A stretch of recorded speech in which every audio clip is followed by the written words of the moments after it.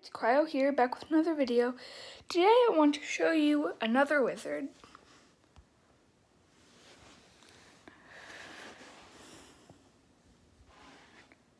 His name is Avocado.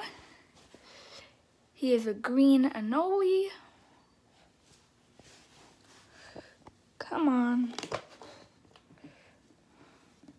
There we are.